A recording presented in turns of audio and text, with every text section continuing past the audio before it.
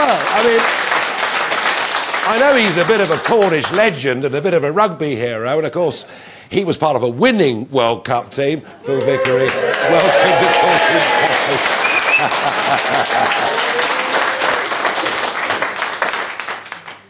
I'm going to take that. That was for me. That was awful. No, I know. I know it was all for you. Absolutely. No, it really was. And, well, very good too.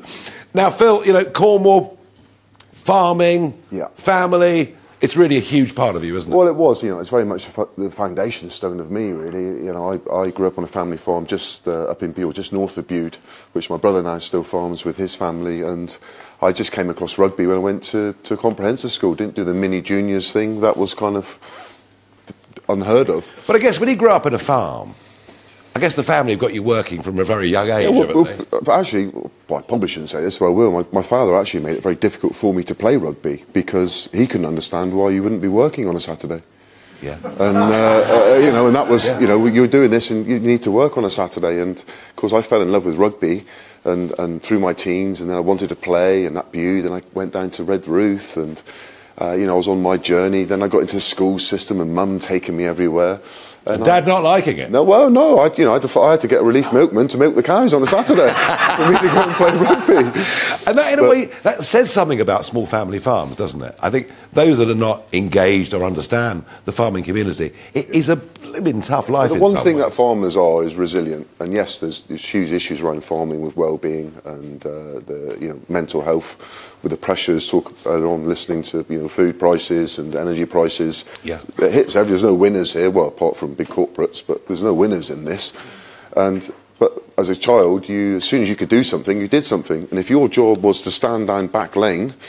And a hole in the hedge when you're drenching sheep day, and that is what you did. You stood there. and even, but even silly things, you look back now and, and people, and I, they say you can't compare being a pro sportsman with farming. I said, well, you can because every day you've got to get up and go. There's no, I don't feel like it tomorrow. Or it's dark, it's wet, it's freezing, Yeah. the electric's gone out. It's boom. Every day, relentless, repeat over and over and over. And and what was it? What was the quality, do you think, that made you good at rugby? I'm probably being told that I can't do something because I'm a cantankerous, awkward, stubborn bugger. Yes, you do have that reputation. Um, but I, I just fell in love. For me, the rugby was a sideshow. I fell in love with rugby. For once, you know, I was the big kid at school. Without getting too deep about it, I was a big kid at school. Got picked last for most things. Five-a-side football, I was always a goalie because by just by default, I filled half of You it. You know, so uh, but, I, but I took it anyway. And it was a simple thing actually. It was it was a teacher, the PE teacher at, at Bude School when I went there. It was Mr. Opie. He actually taught my father, and I said sorry, sir. I said I don't know how to play rugby. And he put his arm around me. and He said, "Don't worry, I'll show you." And I got involved. Was really positive. Didn't break me down. I'm A little bit spirited. He nurtured me and just gave me confidence. And suddenly, it's like wow, camaraderie. The boys together oh. singing song. We are from Bude. This is us. Went down to Bude Rugby Club. Same thing. Welcome. Come in. Yeah. Come on. Oh, we weren't any good. We were rubbish. But, but you know, we are from Bude and we are the best. You know, and it was that club. It was the emblem. It was a badge. to Be part of my town and to represent. And that for me was hugely important. But then you start thinking about Cornwall, what it stands for, you know, fishermen, miners, passion, Trelawny's army, those 15 pieces of gold in that badge. You know, we are from Cornwall. The yeah, I, I just I, I fell in love with that, and yes, my career and what it did, and going up to Gloucester, very similar, very you know working class city, Gloucester, passionate. You know, love you and hate you at the same time, which I kind of loved about it. And then I went on into England with well, you, I mean, you, know. you know, you played many, many, over 70 caps for England, and you were there at a, at a, at a period when England rugby was right at the top. Well, a golden, you know, a golden era. You know, I, I was very, very privileged to have been part of that, and uh, you know, around some incredible people, but led by some incredible people too. And 2003, obviously a very special moment. Yeah, yeah. And I, ironically, we talk about 2003. It's is how crazy my little life is. So, so Mum was the person who took me everywhere. In a little Fiesta 1.1 Popular Plus, up and down, you know. How did you get in it? I know, but everywhere. And uh, sadly, my, my mum uh, didn't come out to Australia for, for the final, but my dad actually rang me. And bear in mind, dad had only watched me five or six times my whole rugby career. and uh, which is not because he didn't want to. He's just happy at home, TV, busy working.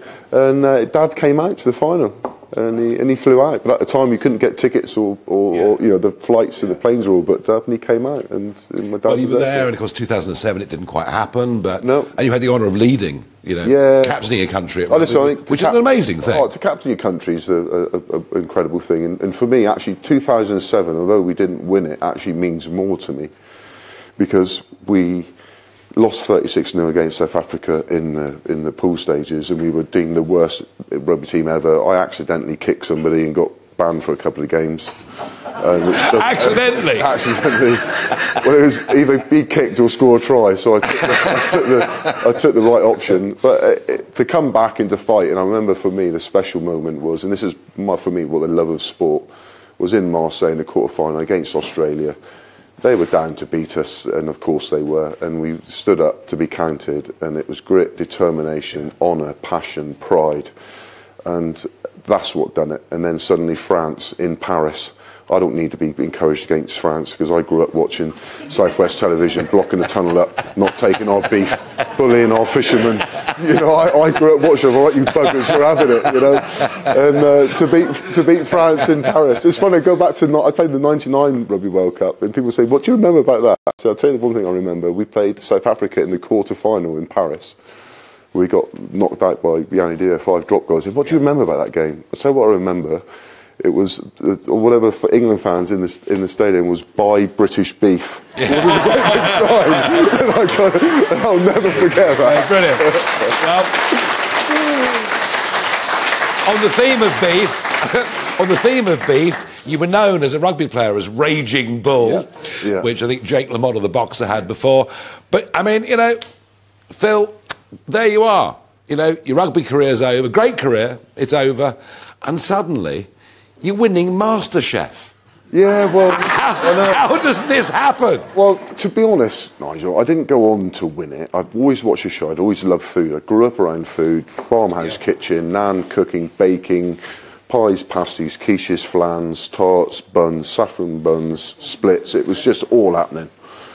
So I loved food. We had our own gardens. Grandad was my uh, person. Who, he was a guy who looked after us really. He's growing and I'm nurture. I'm a herdsman, so I, I'm, I'm, I love tractors because I'm a farmer, but I'm a herdsman. I like that nurture. And food is part of it. Yes, being a pro sportsman, food becomes very transactional, becomes numbers, amounts. But when I'm cooking, it doesn't matter what's going on in the world. I'm cooking. And, I- and I use it, it's a bit of therapy more than anything. And I finish and they they ask me to come on. And, you know, the old classic with the researchers, for the girls and boys in the room, the researchers come, say, they want to find out about you. And you realise after about a minute, they actually know more about you than you know about yourself. And, it was an amazing thing to do, and you've Oh, done it, and you've gone on loved it, from there, yeah. and you've got sports brands and restaurants, and I mean, just amazing. And but food, farming, and rugby, are, although very different, are actually very similar. yeah, yeah, It's it's communities coming in, coming together, celebrating. What do we celebrate with? Dr- Drink, good drink, and food. Yeah, Conversation. yeah, yeah. That is rugby, really. Banter, uh, fun. You know, yeah, that's what farming is. What was a Yeah. what was a kitchen? It was an office. It was I a place of celebration. I think it's brilliant. Well, you brought so much. You brought so much to everything you've done, Phil, and I reckon this crowd have really loved having you. Thank you. Thank for you. joining me.